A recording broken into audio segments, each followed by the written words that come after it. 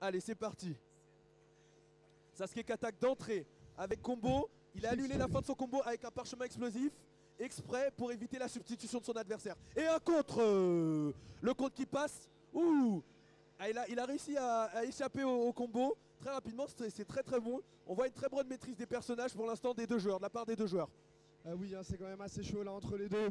Et donc euh, là on a Sasuke là qui reprend l'ascendant là de son côté contre Shisui. Shisui qui a été envoyé en l'air. Bon, Shisui qui a bien récupéré Sasuke, qui a très bien fait une petite prévention sur ce qu'il allait faire. Oh, ça continue entre les deux. On a une substitution pour Sasuke, il faut vraiment qu'il fasse gaffe. Ah, Il se fait contrer malheureusement. Et donc on va continuer là-dessus, ça enchaîne, ça enchaîne, c'est tout dans la garde. Ça passe pas. Très très très bien joué Sasuke qui a envoyé son demi-éveil là sur le coup. C'est vraiment chaud là entre les deux, c'est très très très serré. C'est très très serré. Alors on- là, Sasuke il a activé son éveil, mais c'est pas le Susanoo. Donc le point bonus n'est pas pris en compte. hein. On précise que On le moment où ils pourront activer leur mode éveil complet, c'est que quand vous verrez les flammes ici et ici. Et on rappelle aussi que quand on active l'éveil classique, votre barre de chakra diminue. Et voilà, Et un Susanoo a été activé du côté de Sasuke. Donc ça fait un point bonus Et déjà. deuxième Ça fait un point bonus des deux côtés. Susanoo contre Susanoo.